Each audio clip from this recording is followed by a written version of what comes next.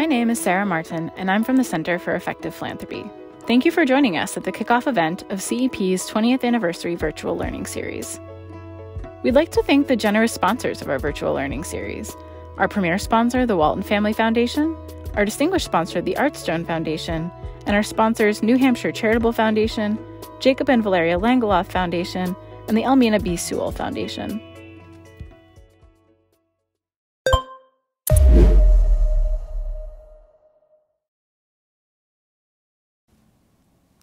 Welcome, everyone, to the Center for Effective Philanthropy's 20th Anniversary Learning Sessions.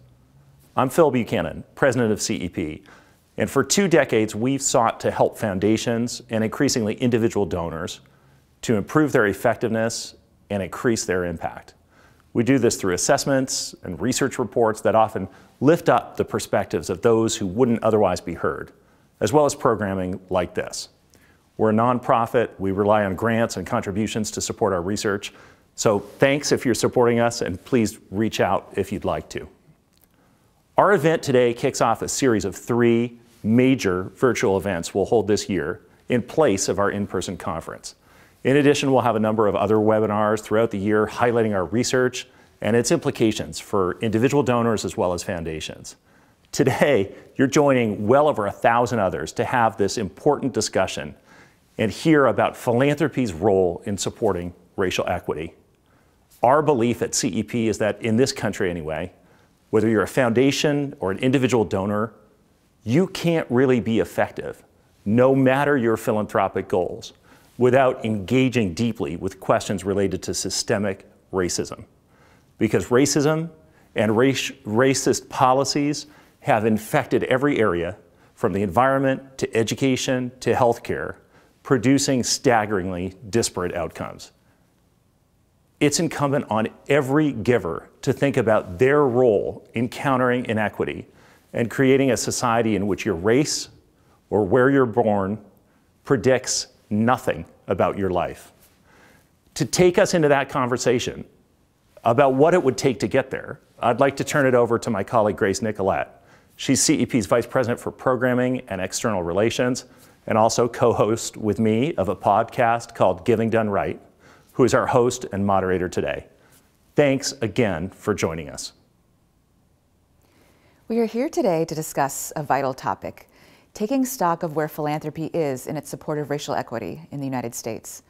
With the deaths of George Floyd and Breonna Taylor in 2020 and many others at the hands of law enforcement, there was a widespread collective lament anger, and a public reckoning over the unequal treatment of black lives. Of course, the struggle for racial equity in this land goes back centuries, even before our founding. And as we reckon with that history, both individually and collectively, we know that race continues to be a dominant determining factor in the destiny and trajectory of millions of people of color in the United States today. Which brings us to today's discussion.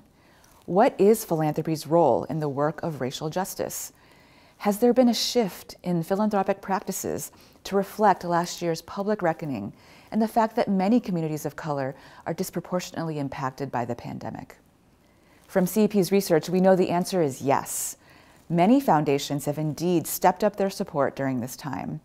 But we also know that these changes may not be sustained and that foundation boards and staffs remain overwhelmingly white. So, what are the gaps in philanthropy's support of racial equity? What must be done for philanthropy to be a powerful force in dismantling racist structures, policies, and practices?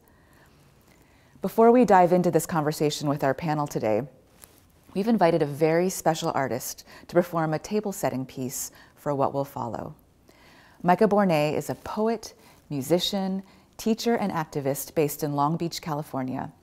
His poetry speaks with tremendous strength and compassion around what it means to be black in America today and the eyes of an artist to see our past and imagine what hope might look like for our future. What up, everybody? It's Micah Bournes. I'm a poet and musician coming at you from my home in Long Beach, California. Uh, I want to apologize in advance if you happen to hear any screaming, laughing, or crying children. Uh, we are living in strange times. Um, but I'm excited to be a part of CEP's 20th anniversary virtual learning session. And I'm going to be sharing a few poems and a few thoughts with you today. Um, it's good to be in conversation with people who care about marginalized folks, about those on the fringes of society, about oppressed people. Um, as a Black American, as a descendant of slaves on both sides of my family, I am overwhelmed with gratitude when I think about how far we've come as a society. But at the same time, I'm often deeply discouraged when I think about how far we still have to go. When I think about the changes in laws, in hearts, in culture uh, that we still need to have a just and fair and equal society, it it can feel overwhelming. It can feel like insurmountable odds at times. But I really get encouraged when I consider the artists and the activists who came before me. Um, all throughout history, in many different contexts, all the way back to someone like Da Vinci, for example, who lived in the late 1400s, early 1500s. And if you look into his notebooks, you saw these sketches of what he called flying machines. he had to be the laughing stock of his contemporaries.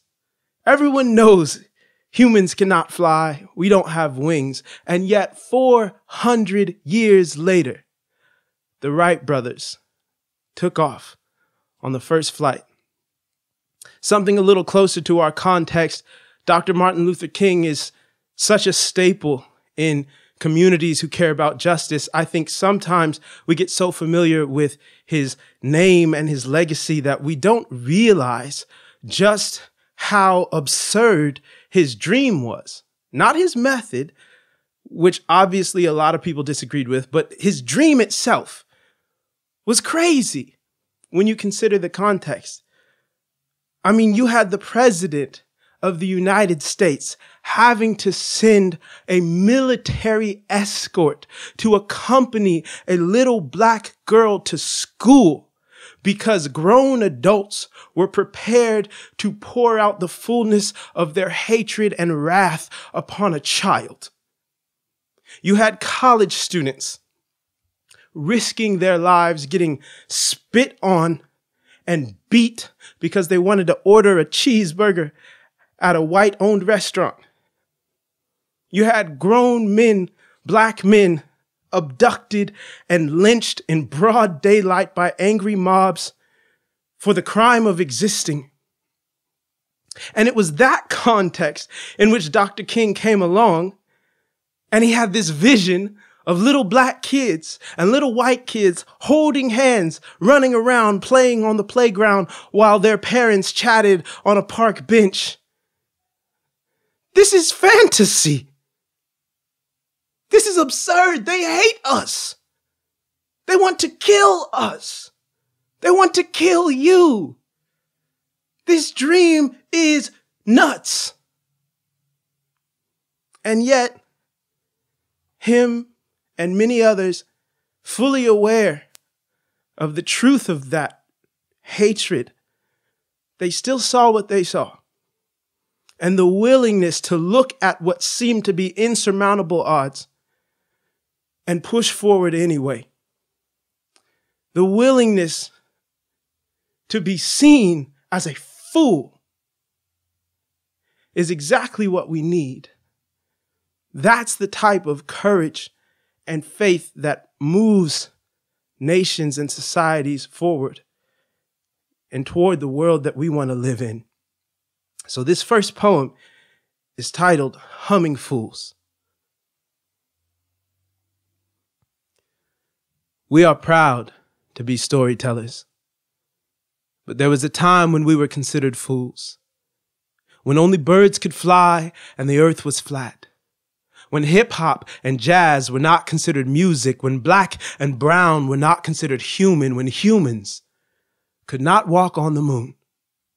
When pictures could not move, when women could not vote, when we could not share a meal unless we shared a skin tone. Yes, we were there way back then. being mocked and dismissed by most.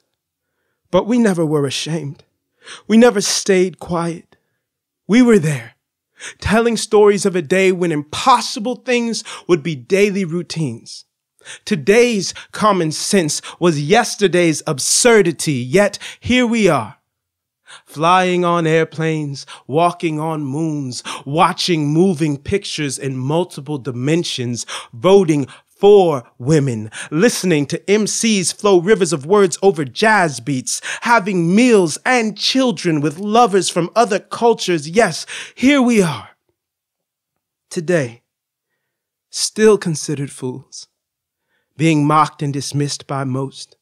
But we never are ashamed. We never stay quiet. Here we are telling stories of a day when impossible things will be daily routines.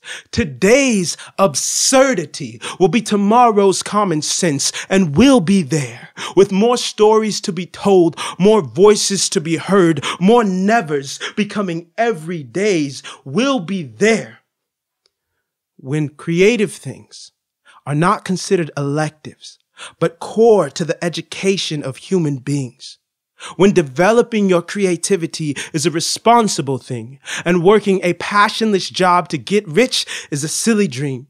We'll be there when art is taken down from its ivory tower, consumed less like caviar and more like bread and water. We'll be there when artists are not starving, when humans are not starving, when being white is not a privilege and being black is not a curse, when we love Mother Earth like a mother instead of only taking from her, we'll be there.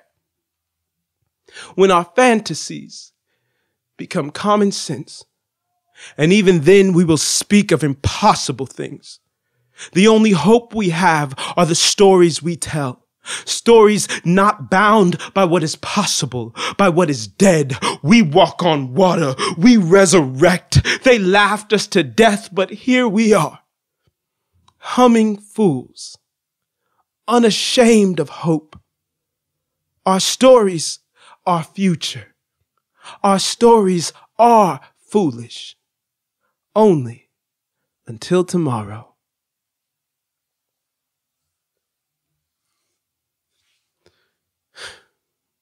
As I said, deeply grateful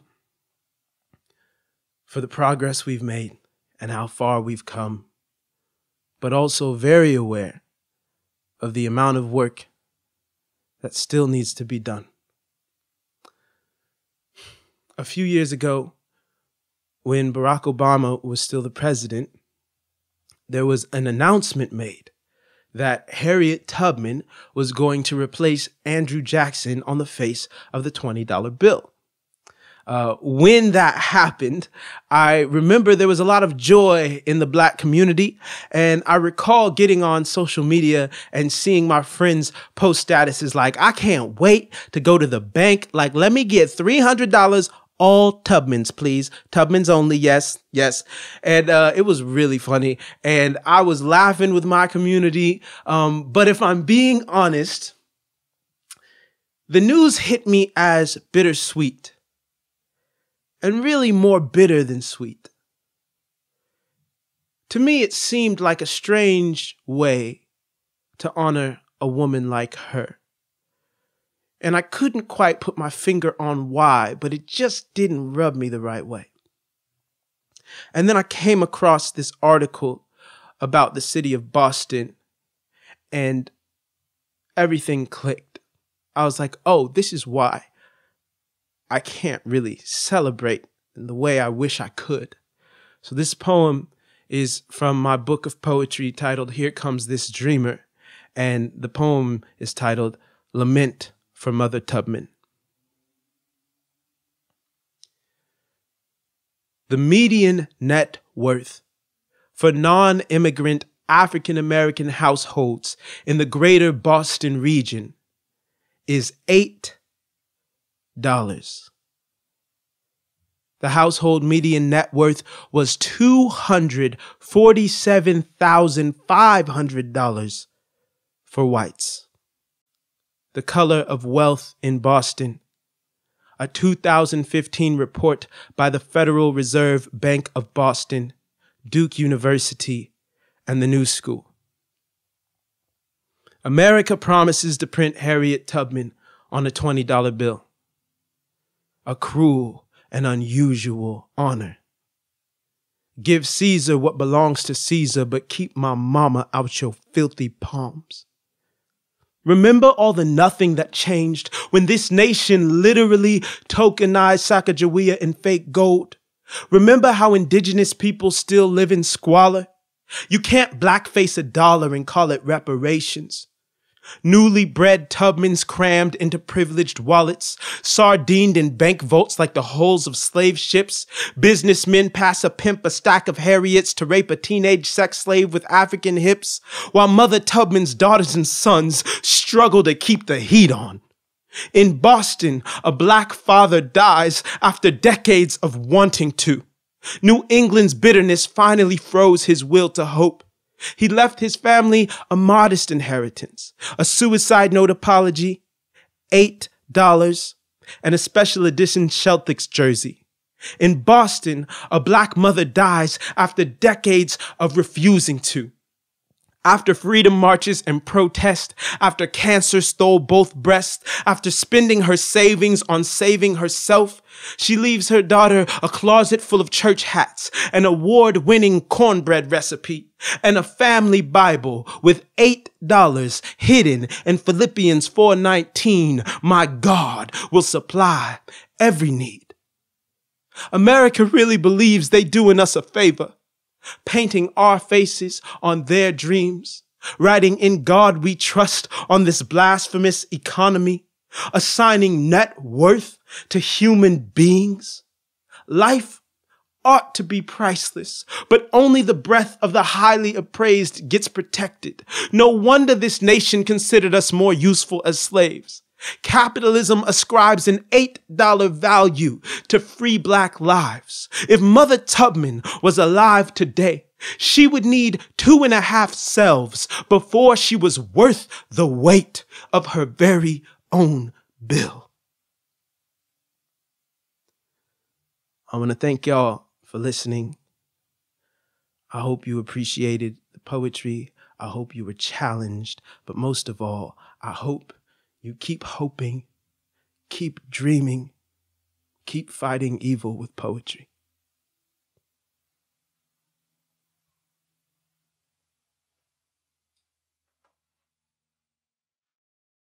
Well, it's hard to follow such powerful words from Micah Bournes, but we'll do our best. Welcome to the live discussion portion of our program.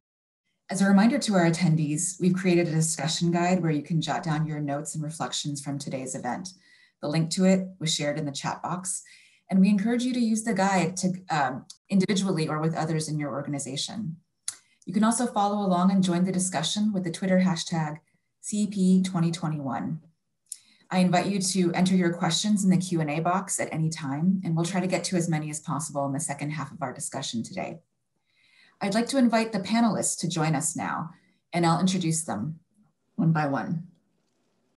First, Yolanda Coentro is the president and CEO of the Institute for Nonprofit Practice, working to transform the nonprofit sector to make it exponentially more effective, equitable, diverse, and connected. Under her leadership, INP is scaling its award-winning leadership development programs nationally and deepening programmatic impact for a nonprofit student body that is majority BIPOC and women. Next, Tricia Raikes is the co-founder of the Raikes Foundation with her husband, Jeff. Based in Seattle, the foundation works towards a just and inclusive society where all young people have the support they need to reach their full potential. The foundation also works to increase the effectiveness of philanthropic giving through its impact-driven philanthropy initiative.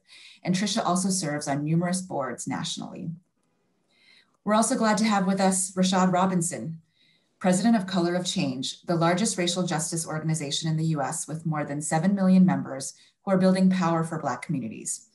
Color of Change uses innovative strategies to bring about system change in the industries that affect Black people's lives Silicon Valley, Wall Street, Hollywood, Washington, corporate boardrooms, local prosecutor offices, state capitol buildings, and city halls around the country. Last but not least, we have Darren Walker, president of the Ford Foundation, a $14 billion internet international social justice philanthropy. Under his leadership, the Ford Foundation became the first nonprofit in US history to issue a $1 billion designated social bond in the US capital markets for proceeds to strengthen and stabilize nonprofits in the wake of COVID 19. His latest book is called From Generosity to Justice A New Gospel of Wealth. We have over 1,200 folks joining us in the webinar today, many of whom are from nonprofit backgrounds, as well as many folks who are major donors or work at foundations. I want to center our discussion today on philanthropy's role in supporting racial equity. As I mentioned in the video intro, last month CEP released a series of reports on how foundations are responding to crisis. And the second report in that series found that foundations have indeed shifted their funding priorities to focus on racial justice, but the results are uneven and may not last. And so I wanted to dive into our discussion today by starting with Darren. Um, Darren, under your leadership, the Ford Foundation has committed to challenging inequality, broadly speaking, with racial justice being a key pillar of the work. I'm wondering, what do you see as the state of things in the field of philanthropy with regards to racial justice after the year that we had last year, 2020? Well, thank you, uh, Grace, very much. And I'm really honored to be here with these three remarkable peers who I learn from every day by watching their leadership. And grateful to CEP, you and Phil, for all you do to help uh, the sector. I think we, uh, in my 20 plus years uh, in philanthropy, have made progress. There is no doubt that when I joined the Rockefeller Foundation in 2000, we did not talk about racial justice we certainly never mentioned the words white supremacy. And we absolutely did not talk about power because those are the core root challenges in a democracy, in a democracy that wishes to be multiracial. And what we in philanthropy have to do, I believe, is to help us succeed in that aspiration to be a successful multiracial democracy. And if we are to do that, philanthropy has to do what Dr. King said we needed to do when he said the following Philanthropy is commendable, but it should not allow the philanthropist to overlook the economic injustice which makes philanthropy necessary. So that's a very different idea than Carnegie and Rockefeller's ideas of generosity and charity. What Dr. King challenged us to do was to seek dignity and justice. And that requires the philanthropist to get uncomfortable. What Dr. King said was we must address fundamental issues of power.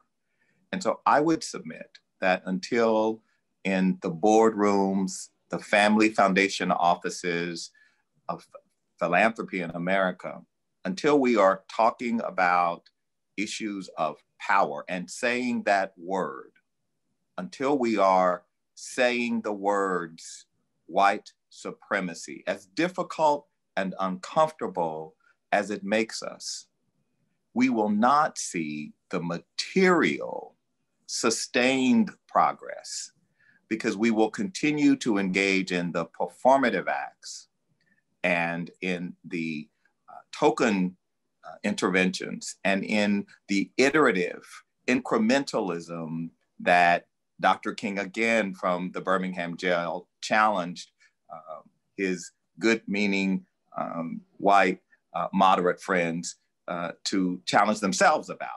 Uh, until we're able to do that, philanthropy, philanthropy's impact on this issue of racial equity will not materialize into sustained change. Thank you. I want to bring in Yolanda. So, your institute has trained over 1,400 nonprofit leaders nationally with the skills and tools and networks for leading effective social change. So, you have this really important nonprofit leadership perspective. What's the urgency that you're seeing in terms of how philanthropy has responded to this current moment? Thanks, Grace. I want to thank you and CEP as well for inviting me to be on this panel. It's really a gift to have these kinds of conversations with folks at such an important time. Um, you know, as I reflect on what Darren just talked about relative to shifting power, I would say for us, you know, that is the the critical piece of work that we do um, on the nonprofit side to think about how to shift those structures within the, the field of nonprofit work. And philanthropy plays a key role in that. Um, and you know, while philanthropy kind of quickly, many foundations and donors pivoted funding uh, towards racial justice and racial equity work as the racial reckoning erupted last spring. Um, the, the urgency remains. And I think it is incumbent upon us to figure out how are we going to continue to make these kinds of investments and prioritize this work in the field um, as time passes. And so, you know, when I think about how the role that we play, it's really looking at so if power sits in leadership, how do we support a change of leadership? How do we invest in leaders of color, in racial equity work more broadly in the field? funders are increasingly investing in these areas, naming them as priorities. Um, and those are obvious first steps in forwarding the work, but they're also looking to leaders for solutions more and more and funding more quickly with less restriction, which is so important. Um, and for our leaders, we know that for them to rise within the sector, that we have to fund the capacity building that organizations need to advance racial equity work and that they need to also fund opportunities for talent, BIPOC talent across all levels of organizations to access different capital that we they need. And the way we kind of think about capital is in three types. There's knowledge capital, which is like access to information, education, thought leadership, new ideas. Social capital, that's access to relationships, right? Financial capital isn't just building financial access to financial resources for organizations and also for leaders so that they can sustain themselves in the work. But it's also how do we help leaders get into positions of power and philanthropy and see themselves, see the pathway to actually being able to influence where money goes. Um, there are lots of programs out there like INP who are doing this kind of work and they've been doing it since our founding. So I suggest for folks on, on this webinar to think about how do we amplify them? And if you're already funding this work and you already believe in it, awesome, then further help your grantees expand their resources, right? Don't wait for a leader to ask you to make an introduction. Spot them, give them a platform, offer them introductions to your networks.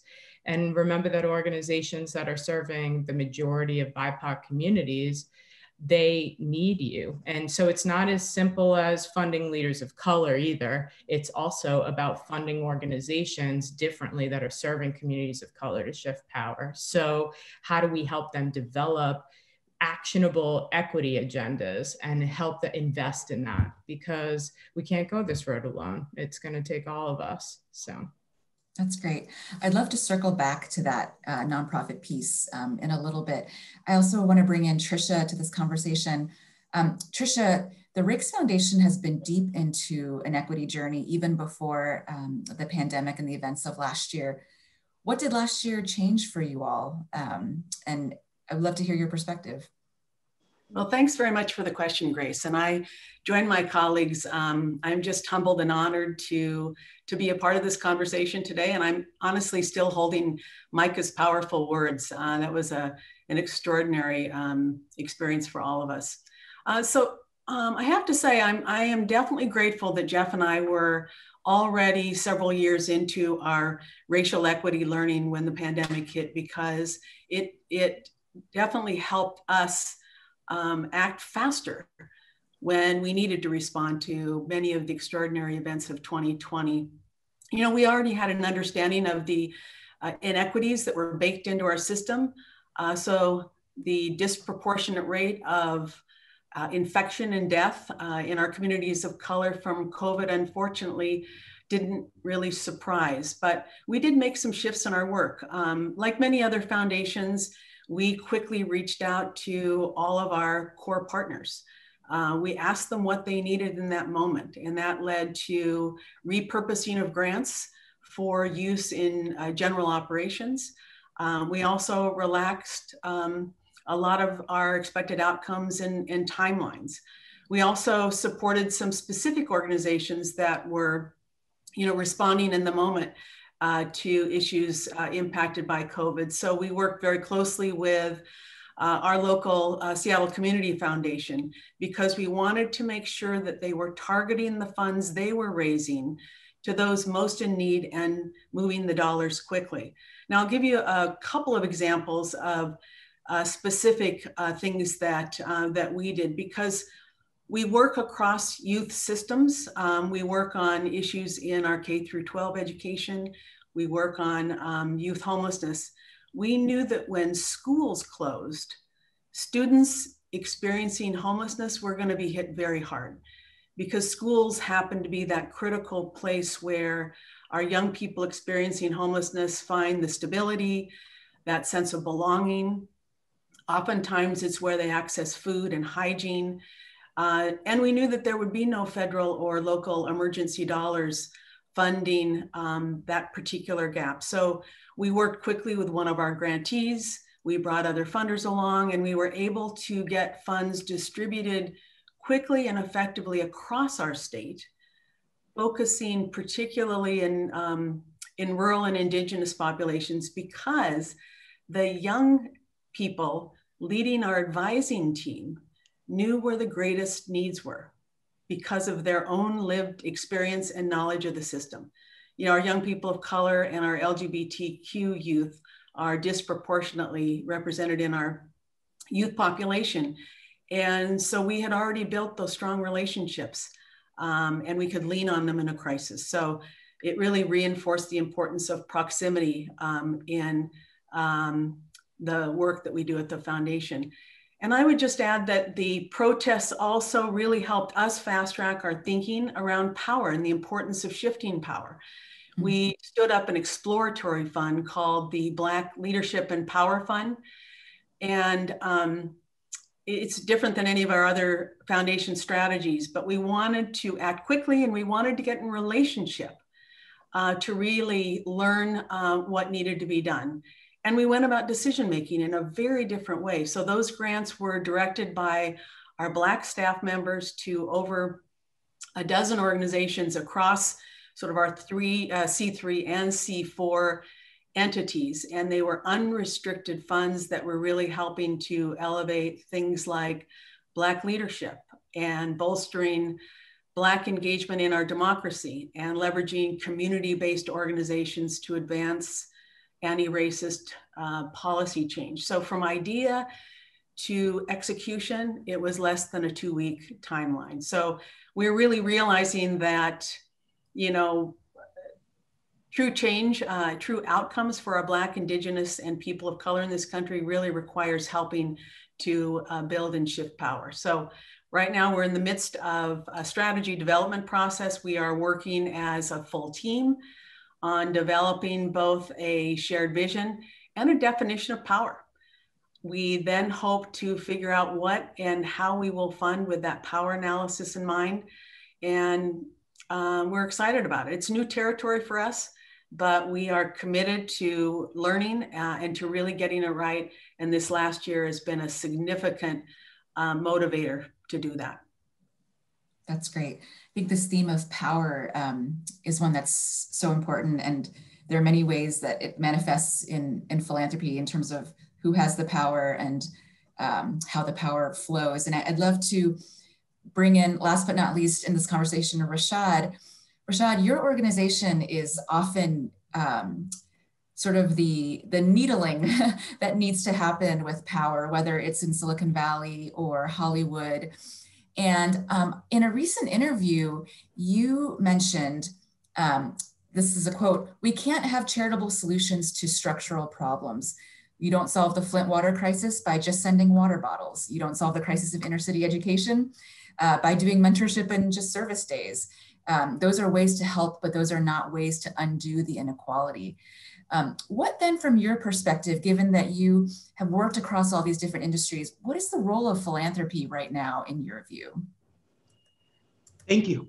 Thank you for that. It's great to be here with my colleagues and great to be with all of you virtually. And I'm hoping that soon we'll be able to get back to uh, engagement um, in real life um, in all the ways um, that, that, that helps to strengthen our work. But, you know, I think philanthropy's main role is one of understanding. Um, so many decisions flow from how we look at problems and how we're oriented to see them and understand the world and understanding the true needs. Um, you know, for instance, um, understanding that change is not bought, but change is grown. Um, an example is like if you're setting the stage for a photo shoot, you set up a bunch of plastic plants, you take the picture, and then you walk away. In the photo, you can't tell the difference. But if you want a garden, uh, you need that garden to produce substance, substance for years and to feed and to be uh, uh, sort of uh, visible and clear. And that's the same thing when it comes to movement building. I remember uh, one of my first jobs in high school was working at the Brooks Brothers at the at the outlet mall in my community on Eastern Long Island. And you know, we could put displays in the windows where we pinned the suits in the back so that they looked a certain way out front, but they didn't actually fit the sort of person that way when they came into the stores. And people would look at the display and think that that's how it might look on them, and that's not actually how it works. Um, hmm. understanding that equity in media, for instance, isn't about getting more airtime um, or more Facebook pages, it's about media ownership. Black people, for instance, um, not always being the guest on someone else's dinner party, but having our own. You know, yes, Black Twitter is great, but Black Twitter against Fox News or Facebook is not a fair fight. And that's not just because of the difference in resources. Black Twitter is organizing. Fox News and Facebook are infrastructure. We need both savvy and wide reaching organizing and also the kind of infrastructure that builds the kind of power you can only build and sustain with major investments in long term uh, capability that establishes an audience that is consistent and creates a direct connection of trust that can move millions, uh, hundreds of thousands, or whatever sort of necessary to sort of drive engagement and winning. When philanthropy moves from thinking about helping us buy time in media to helping us buy media platforms itself, we're moving in the right direction to thinking sort of about power. Another way that we talk about it in Color of Change is understanding the difference between presence and power. Presence is visibility, awareness, retweets, shout outs from the stage.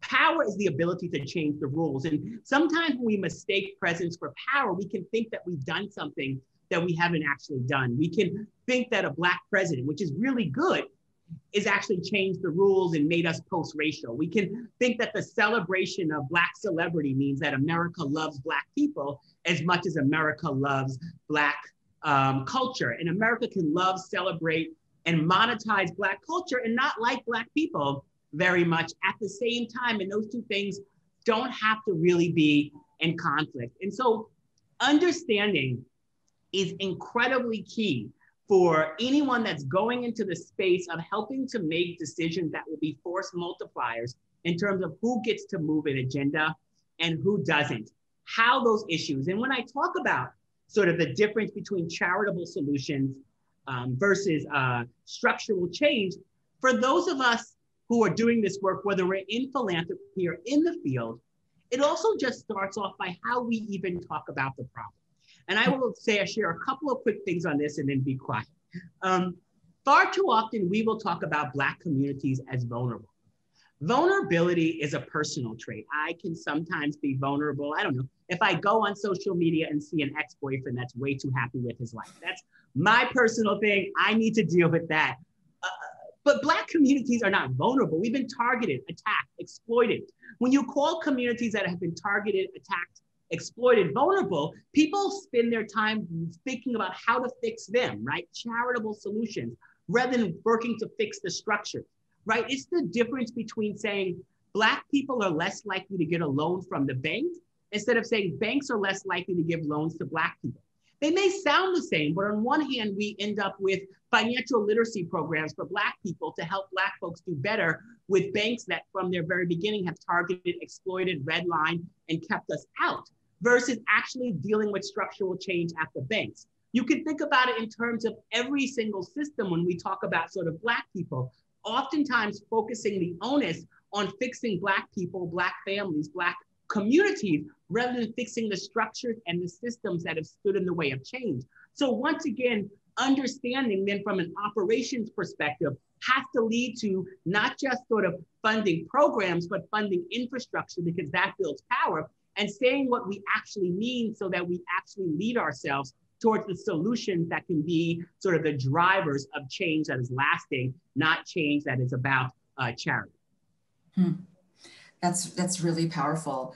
Um, I think you know I think of I had a recent conversation where that last point you made was really brought home to me that you know when we say that um, you know black communities and other communities of color were disproportionately affected by COVID. To your point, no, actually, it's that COVID affects everybody, but that they have been, you know, disproportionately, um, they have not had the systems and the protection that other groups have had over time. And therefore COVID um, is impacting them in a different way. And, and that language is important. Um, Grace, can I just say on this point, yes. I think philanthropy has been organized to solve social problems. And just following on Rashad's brilliant explication here, I think philanthropy needs, therefore, to change from a problem diagnosis to an understanding of power and systems and structures. And this is why the work around white supremacy, around understanding how our systems and structures have been designed, and how we have learned to understand what problems are in society, I'm fascinated when I look back in the archives of the Ford Foundation and the Rockefeller Foundation and see reports from the 1960s entitled The Negro Problem. And so this the Negro problem was a study of ghettos and the problem with Negroes in these ghettos as opposed to studying how did these ghettos come to be? How did we come to see Negroes as the problem? And I think we have to excavate our language and our understanding. And I think that quite candidly has to be led by white philanthropists, which is why I'm so grateful to courageous philanthropists like the Raikes, who are willing to talk about white supremacy as a reality and not some figment of me and Rashad and Yolanda's imagination. I mean, but that that is it is actually real that the institutions in our society were actually not designed for us. And this isn't an indictment of individuals. And that's why sometimes the conversation becomes difficult with philanthropists because people feel that it is a personal attack. You're calling me a white supremacist. No, we're not calling you a white supremacist. You are trying to do good works, good philanthropy in a system that is white supremacist.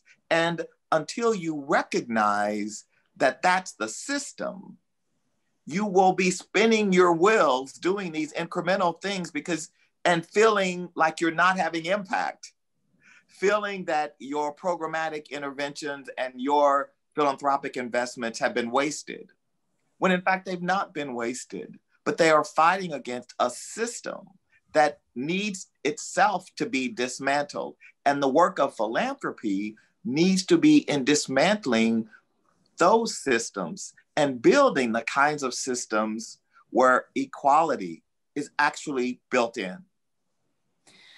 What would your advice be, Darren and others? I mean, I imagine that there are some funders on this call for whom, you know, the dichotomy you, you mentioned, Rashad, of like presence versus power. I mean, we're still wrestling with presence here, right? And like maybe that last year, the events was the first time that there was like a real personal or maybe even organizational reckoning around white supremacy. Where does one go to learn more about these structures and to see the problem more clearly? I mean, I think that there's a lot of places. One, I would say um, the the work that is happening in communities that are winning on these issues is actually the first place to start, right? You know, one thing that I think uh, we should be proud of, right, in terms of the infrastructure that has been funded over the last several years. And I can't see folks' faces, but I know that many folks were involved in this. Is that you know in the um, you know, there was this one moment over the summer where I reached out to my dear sister, Patrisse Cullors, one of the co-founders of the Black Lives Matter movement in Los Angeles. I saw some of the police interaction that was happening on the ground in Los Angeles and reached out to her to see how she was doing, how others were doing, if there's anything that we could do, me being, you know, thousands of miles away. Uh, but if there was ways that we could amplify, push on media, what have you. And she reminded me about the last seven years of organizing leadership development, folks having to learn to work together, like what we have built together, a point at which uh, it was racist to say Black Lives Matter, and now it's being raised on flags and put on streets, and the power that racial justice has as a persuasion vehicle. Sometimes we talk about racial justice as the moral thing to do, and it is. Sometimes we talk about it as the charitable thing to do, and it is. But it's also the strategic thing to do. Think about this summer when many of us thought that the best we could do in terms of activism was uplift powerful investigative journalism or clap outside of our windows for the essential workers that were getting us through. It was racial justice that powered people into the streets. It was racial justice that led to the spike in voter registration, particularly among young people. Racial justice became a majoritarian issue this summer. Now the opportunity is to translate that into a governing majority. But that gives us the ability to win on healthcare, to win on climate, to win on education. If you care about sort of a whole range of issues, you've got to think about the ways in which racial injustice has impacted our ability to win and not think about racial justice as a deficit, but actually think about it as our most powerful motivating force. It's the hmm. force that actually motivated multiracial communities to stand up, right? If racial justice is now a majoritarian issue in polling and Black people are not the majority, that means that we have persuaded a lot of other people to stand with us. And that is powerful in terms of what does it take to win. And so as I think about what is it going to take to get a true democracy, it's not that it'll produce racial justice, it's that racial justice is our path to getting there. And we should hmm. be thinking about how to leverage it, how to unleash it, and not think about um, in the final quarter of any game, you don't bench your best player. And I believe racial justice is our best player. And hmm. for folks that want to learn more and get involved more, there are movements working. And as philanthropists, the thing I would say, just on behalf of those of us who do the work um, and are running organizations, that if you want to do learning, that you've got to find ways to do that in ways that are uh, fair and equitable and responsible to the folks on the ground doing the work. Um, you know, Color Change is a much bigger infrastructure than many of my other brothers and sisters doing this work.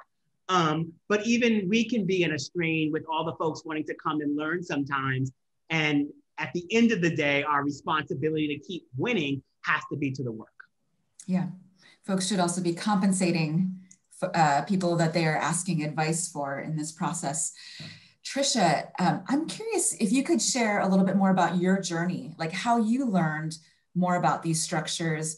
And I know that you and Jeff also have a voice among um, communities of donors who may be predominantly white. And how do you bring people along when they're just seeing the problem for the first time and may not, you know, see it with the breadth and the depth of others um, on this panel?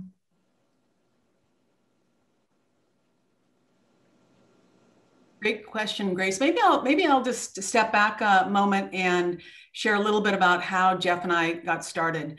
Um, you know, we've always been drawn to work on hard problems. Um, you know, how we can really help bring enduring change and try to, you know, address root cause. And you know, in our case, we've been very drawn to systems that uh, serve our young people, but as you can imagine, you know, uh, all best efforts and good intentions, our work was clearly uh, incomplete. And over the last five, six years, um, we've really come to understand more deeply the role of racism uh, and the, uh, the way it plays out in the lives of Black Americans and people of color across our country. You know, it is, as, as uh, my esteemed colleagues have mentioned, it is just built into so much of how our uh, country operates. There was an interesting piece I read recently that described racism like smog, that um, we don't often see it and we don't think about it because it's everywhere. And when I talk about the we, I mean people like Jeff and I and, and other white people because we don't experience it in the same way. And so I think um, the words of Isabel um, Wilkerson still stick with me. She wrote that our caste system based on race is very much the infrastructure of our divisions.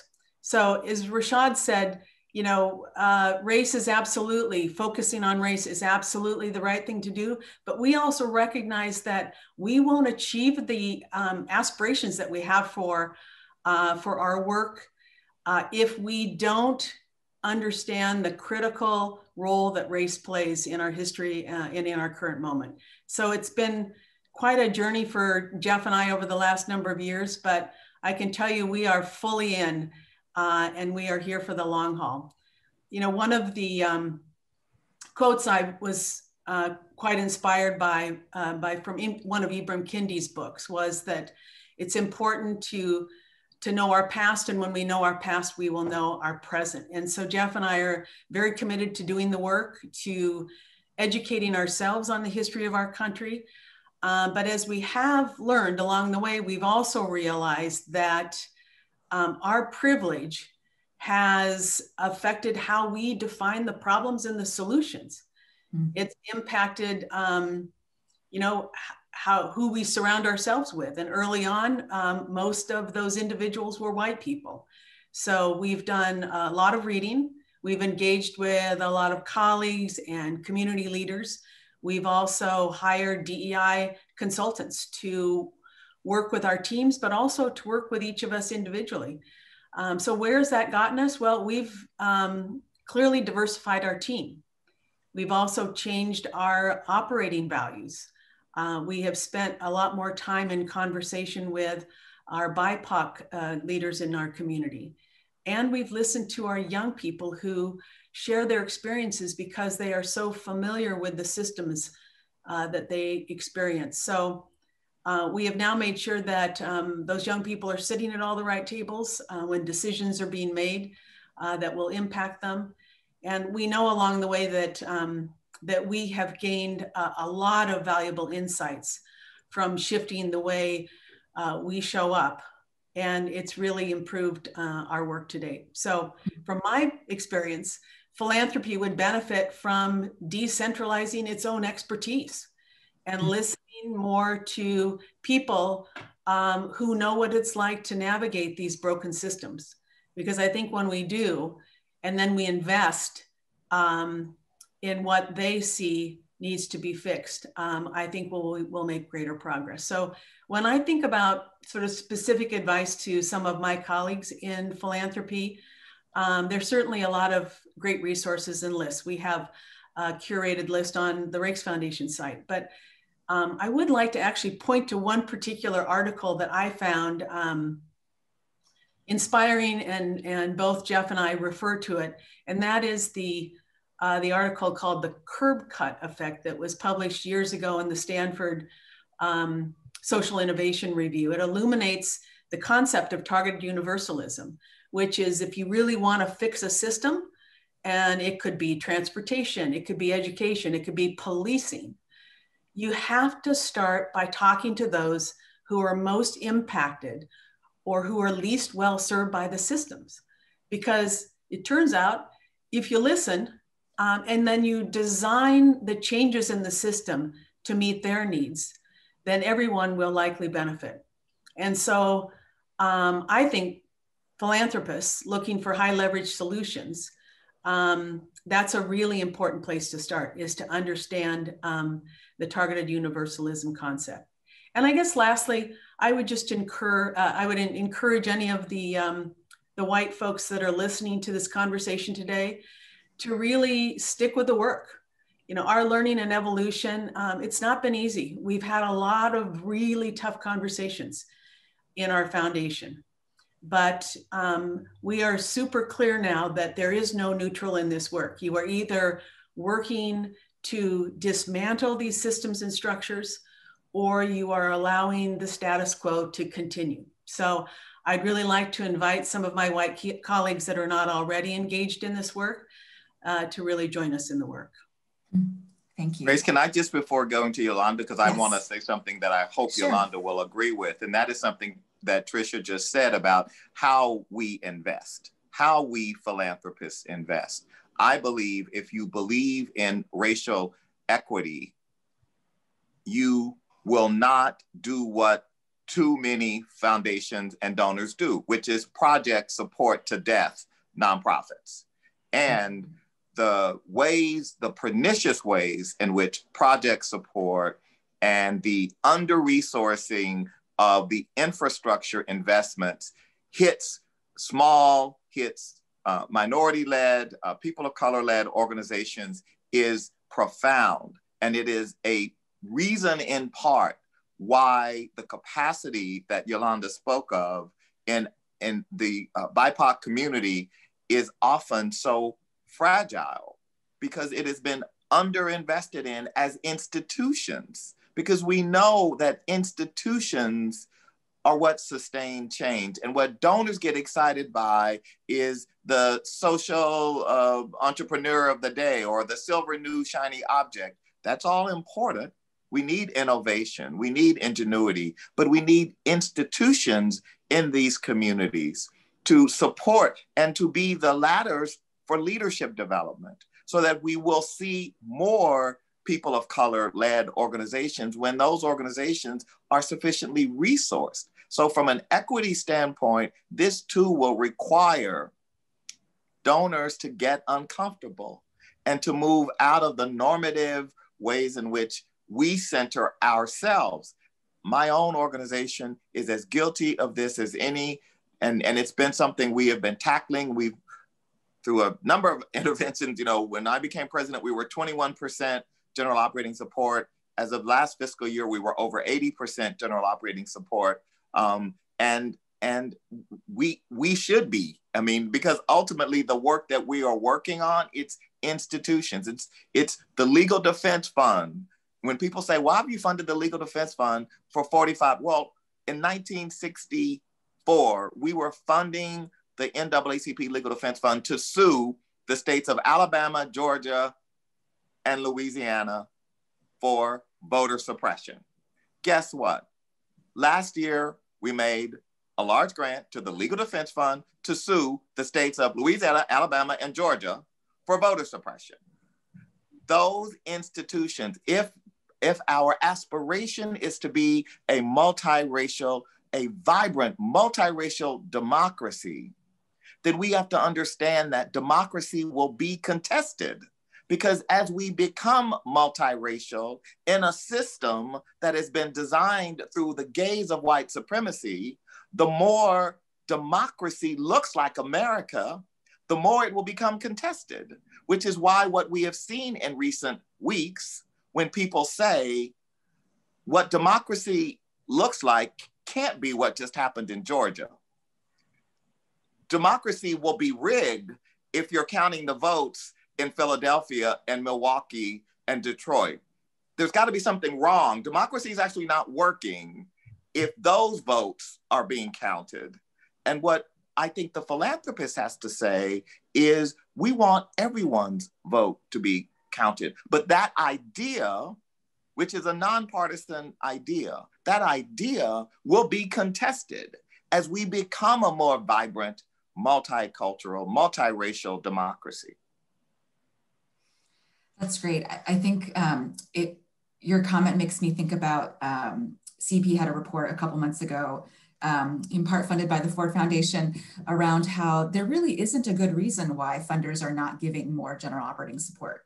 Like yes, there is. Oh, Grace, yes, there is. the, the reason is power. Control. Yes. Come on. We're, I mean, uh, we can't be beating around the, I mean, it's about power. It's about control. It's about being able to say, my input got this outcome. And that's what I care about, as opposed to saying, if we want to solve this challenge, here are the five key institutions we need to be resourcing to achieve those objectives and let them decide they are better positioned to know what the right strategy, the right outcome ought to be for their community. So let's not pretend, Grace, that we can't figure out why. Uh, yes. It's about power.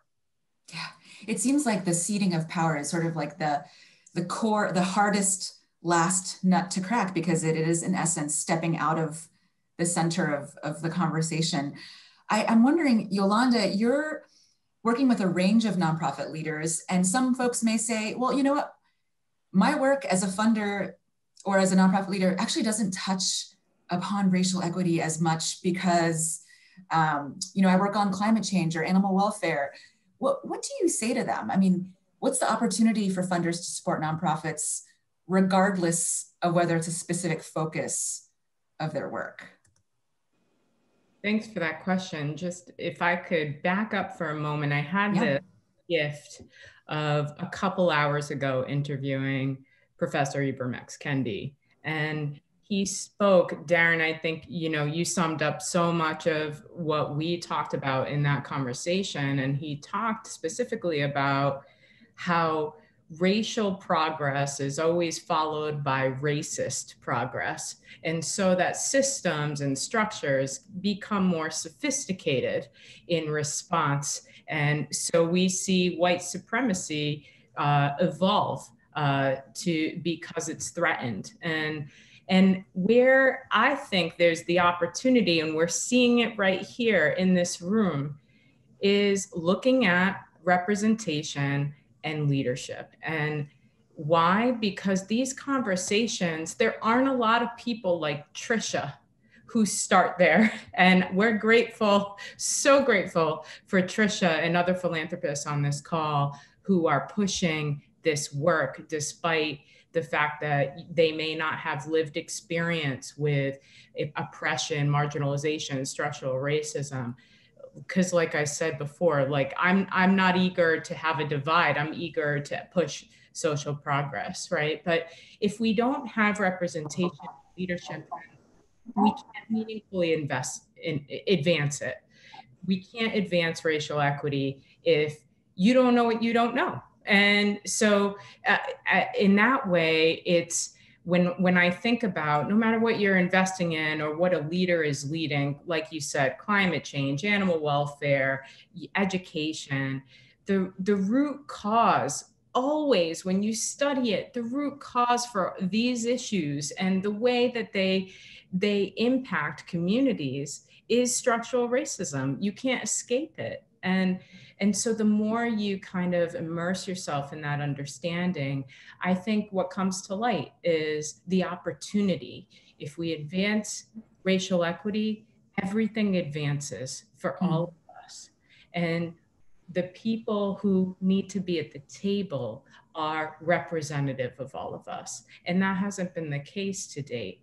And so I think as, you know, we talk about um, the kinds of investments that need to happen. It's general operating, it's capacity building, it's pushing on organizations to change their structures to Rashad's point about just infrastructure needs to change. So how do we help people navigate that process?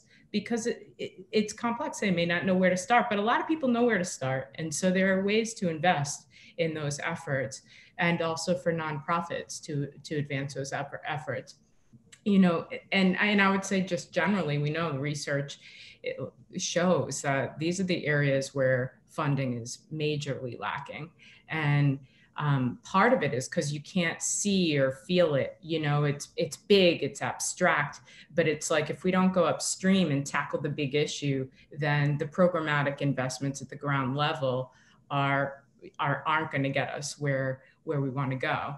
Um, and, you know, the last thing I'll say, I've been thinking about this a lot lately because, you know, there's a, a lot of work around um, understanding the effects of capitalism relative to, to racial equity, obviously. And I think the reality is we're, we're not going to um, move away from capitalism anytime soon. And so I think we have to look at how to leverage the context we're in so that, and there's nobody better to do that than a lot of folks in this room who have access to capital to think about how we value what we pay for. If we focus on efforts like community organizing, political action, advancing leaders of color, organizational effectiveness around racial equity strategies, then we will build the difference we want to see. And I, I think moving away from this focus on we're going to try to shift beliefs as if you know there's a, a, lot of times i think people and and i may come under fire for this so i apologize for everyone who loves implicit bias training and other trainings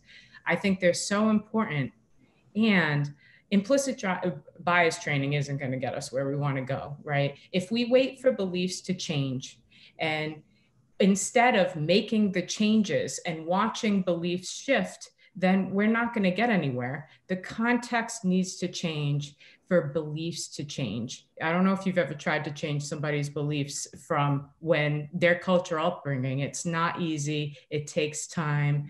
And I'm just not interested anymore in risking the lives of more Black and Brown people to change hearts and minds.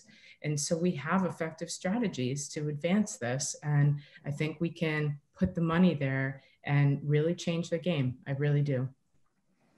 That's great. I want to stay on this thread and actually transition to Q&A because I think a lot of the questions that we're getting are specifically on this topic. So, I mean, I'm going to summarize a couple of them and I'm going to throw them out and any of the panelists can respond. There's a bunch of questions about how we push this conversation. Um, how do we dismantle these systems? Or if we're people of color within philanthropy, uh, how do we push without losing our jobs um, or, or really being viewed as divisive. And I'm wondering um, if the panelists have any advice for folks who are really trying to live out these values, but institutionally run into a whole bunch of barriers. What would you say to them? Well, I think that it's very difficult for um, for philanthropists to engage because our complicity we're implicated and people take this very personally. And i think it's we we those of us who are seeking to um, to engage have to understand that and approach these conversations with some degree of empathy around that right? I mean that that for many i mean i had a, a, a very wealthy white woman who genuinely said to me, you know, when I I knew that we had a problem in of racism, but when I I actually watched the George Floyd video like multiple times and I cried more each time. It broke my heart. And it broke her heart. And she was crying because she was crying for America. She was crying for a belief that she had grown up with that opportunity was abound in, in this country. And that actually, while there was racism, it wasn't systemic. It wasn't embedded in the way in which I talked about it. And so she was crying.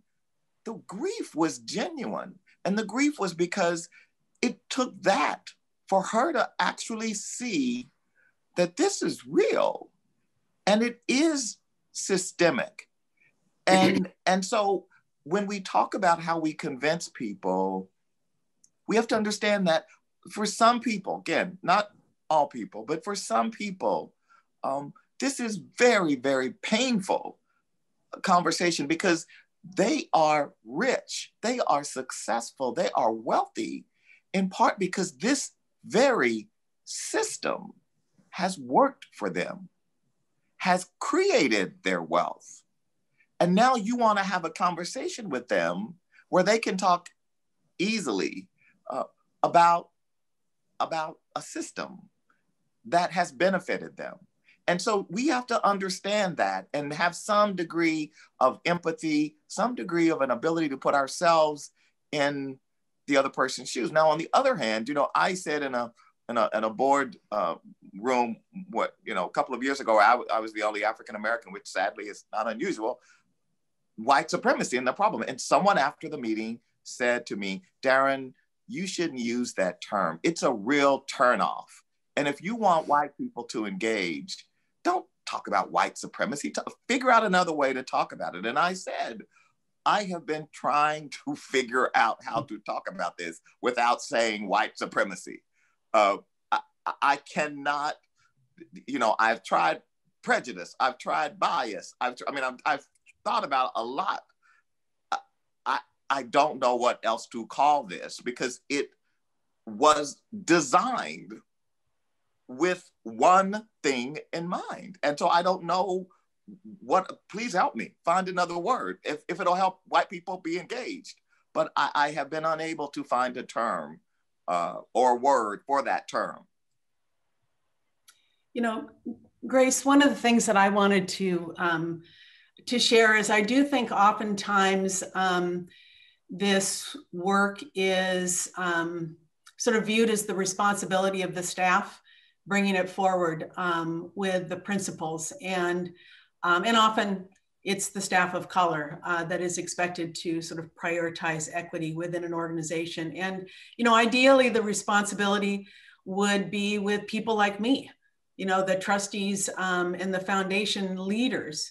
But unfortunately um, i know that that's not the reality yet uh, and it's not the reality in most organizations and I have to say, it was certainly not the reality uh, for us. And I think sometimes um, there is sort of a moment, a jolt that really initiates uh, a lot of this work. To to Darren's point about the woman that was really moved by uh, by watching um, watching media, but for us, uh, it came in 2015. We had at the time only one black staff member. And she came into work the day after nine people were murdered attending the Bible study at the Emanuel African Methodist Church in Charleston, South Carolina. And no one in our office had said a word about it. And she, you know, she thought to herself, we're supposed to be an organization that cares about equity. Um, and yet, this mostly white team at the time, um, nobody said anything. So it was very powerful and hurtful uh, for her. But I think, you know, the truth is that was our moment when we realized we were not doing the work. And so it was quite painful uh, the months that ensued. But I think oftentimes it is an incident that starts us onto uh, onto the path, and that was certainly the case for us. And so that led us to to training and then to diversifying our team and we know that uh, that our work is much better for it. But I guess part of my advice to folks that are listening, that are CEOs and executive directors, I would say don't shield your trustees uh, from these kinds of conversations. I think it's really important to help connect them to peers like Jeff and me, um, or donor networks that are actively engaged in the learning. Because Jeff and I were unaware of what was happening uh, on our team at the time until much later. And we certainly wished we hadn't been left in the dark. Um, so we are now very committed to learning alongside each other. Um, and I think uh, oftentimes in white dominant organizations, you know, leaders with even best intentions um, will have their blind spots and they won't know how to really uh, enter into that work. So uh, bringing on the professional support, I think will be um, really important to do and to really encourage those conversations internally because if we can get the right leaders to model that work, we will be able to create those spaces um, to, to all be on the right journey together. Thank you for your openness with that, Tricia. I think that's just so helpful to know about your own kind of the inflection points. I'm seeing a bunch of questions that I'm, I'm going to also amalgamate. You know, Darren, and you said this um, in a previous comment, and, and this really is a question for, for anyone, I think that there can be this perceived tension between ceding power, but then the idea that as funders, we have a role of stewardship, right? Or that there's an evaluative component to what we have to do.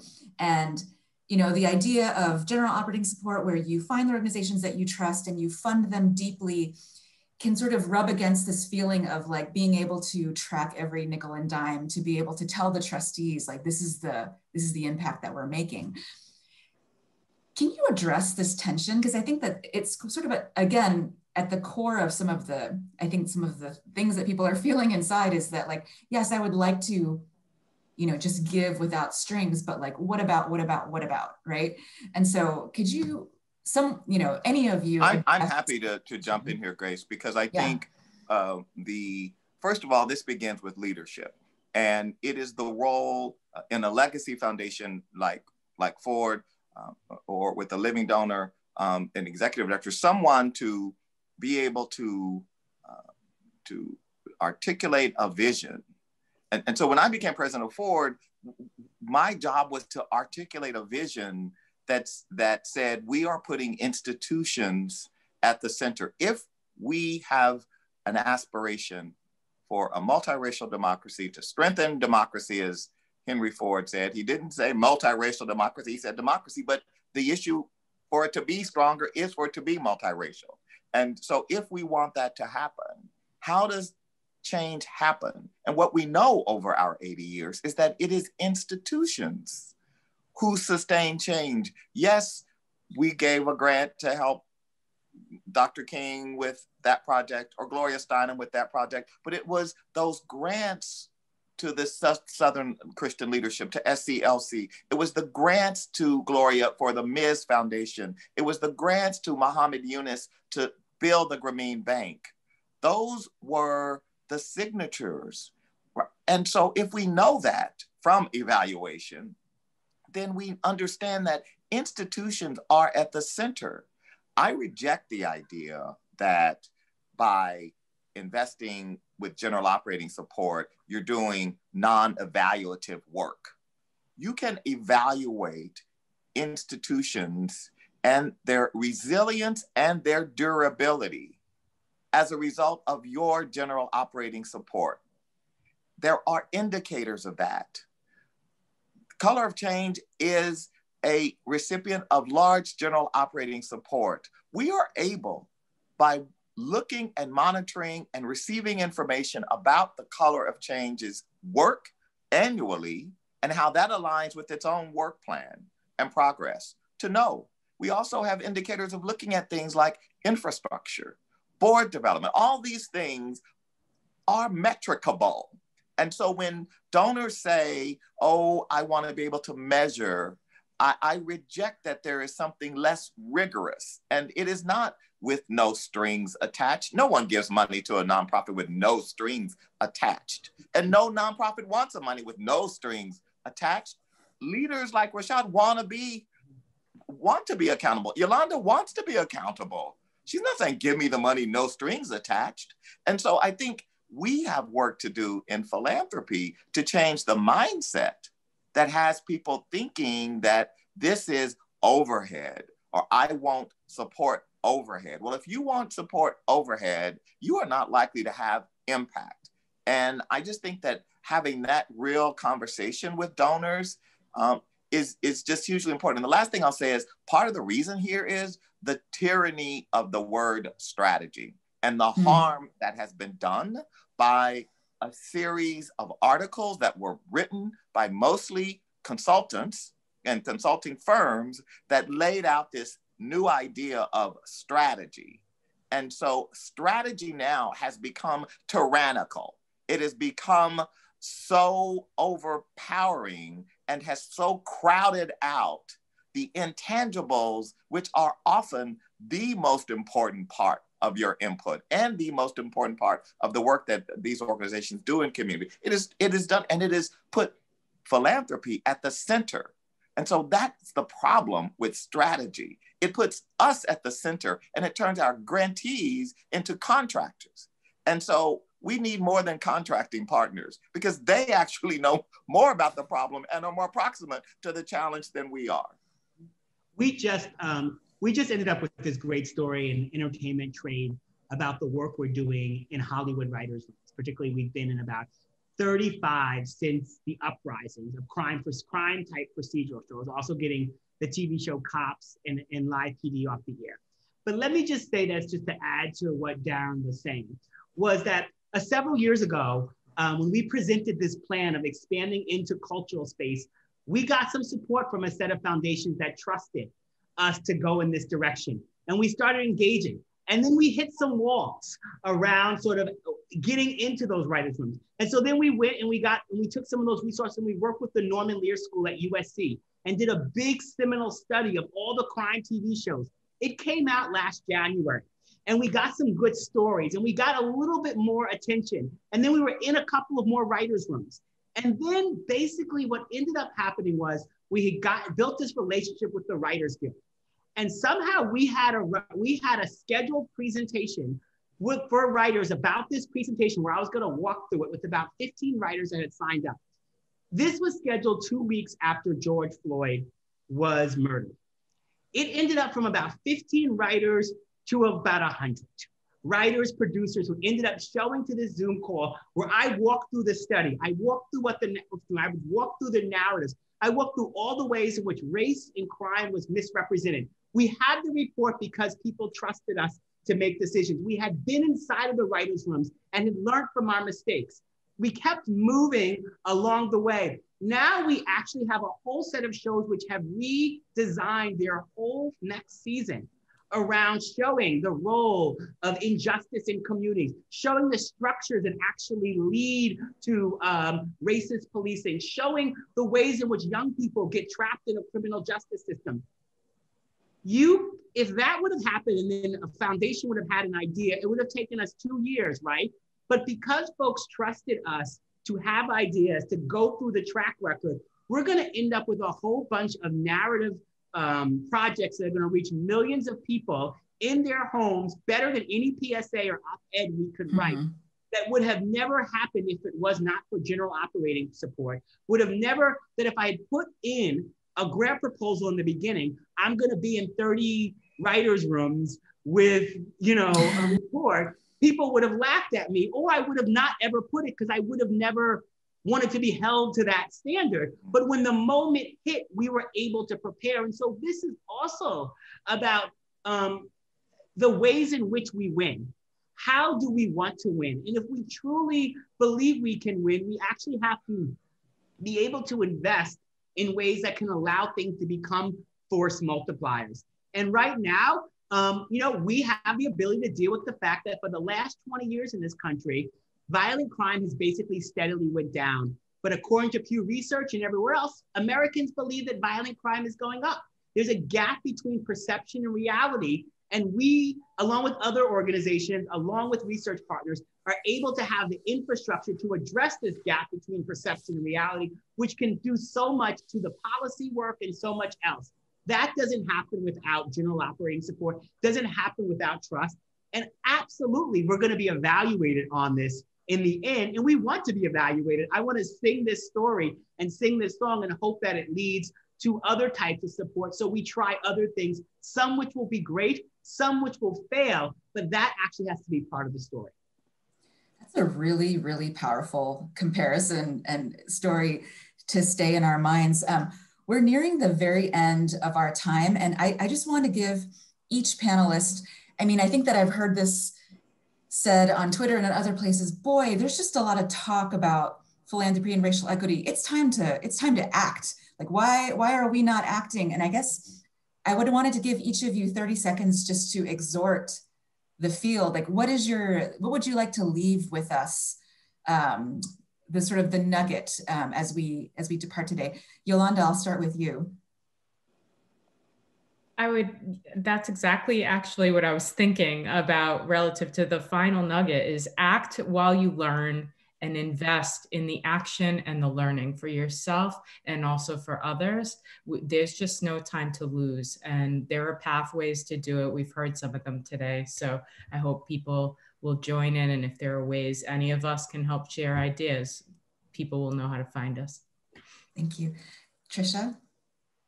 Oh boy, a, a few seconds. Um, you know, I would just say this work has honestly changed me. It's changed the way I see the world. It has changed how I want to show up. And so for me, it's kind of holding myself accountable. It's um, being bold to enter into conversations with some of my peers and to, uh, as we start having these conversations, uh, to sort of push and nudge um, and to really help them you know, enter enter into this space um, and to uh, and to stick with the work because I think. Uh, as we said earlier, and Rashad said, it's uh, it is the right thing, but it's also the smart thing to do when we want to make the kind of progress that we want to make uh, in this country. And so I just don't see any other option than to uh, to move forward and to bring others along. Thank you, Rashad. I mean, I just think that the world's going to look different 5, 10, 15, 20 years from now. And I just ask all of us to like maybe close our eyes. And if we're looking at the movie 20 years from now of this moment, what character do we want to be in that story? Who, what's the archetype? What did we want to contribute? What do we want to be able to tell the people uh, that are writing the story of our contributions in this moment? And I think all of us have an opportunity and are privileged by just by being on this call because of the positions you're in to actually have a role in shaping the future. And I think that that is the opportunity. And just, I really appreciate Tricia adding that racial justice, right, is strategy. It is the smart thing to do. It is the winning framework. Thanks. And Darren? Well, I would just say that uh, we are moving into a different world. We lived in a BC world until recently, a before COVID world. Soon we will be living in a post COVID world. The BC world is over. We are never going back to that world. So the question is what will the PC world, what will the post COVID world look like? And what will philanthropy do to ensure that the negative things that we saw in the BC world, the discrimination, the bias, the prejudice, uh, that that is eradicated, that that is in fact not a feature of our world. There is work, urgent work for philanthropy to do to achieve racial equity and racial justice. And now is the time. Thank you so much. Um, with that, I'm going to close today. Um, I'm going to share very quickly just a couple more things before I let everyone go. Um, I want to say a huge thank you to everyone for, for joining us, um, especially our panelists. Um, you have brought so many important ideas um, to our audience, and we're very, very grateful to you. For our attendees, you should have received uh, a, a, survey in your inbox already, and we'd love to get your feedback on this event. Um, we're always trying to do better, and we're so grateful that you joined us today. I wanted to announce that our next Learning Series event is going to be on April 29th at 2 p.m. Eastern Time. And it's about Are We Better Off Divided? Philanthropy's role in our current moment. We have the full lineup at this link, which is case sensitive. And we hope that you'll take the time to register today and join us for another really great conversation. And then finally, I just wanted to thank our sponsors again for making this event possible and for supporting CEP's ongoing work. The Walton Family Foundation, Archstone Foundation, the Elmina B. Sewall Foundation, the Jacob and Valeria Langeloth Foundation, and the New Hampshire Charitable Foundation. Thank you so much again to everyone. Um, we'll see you soon.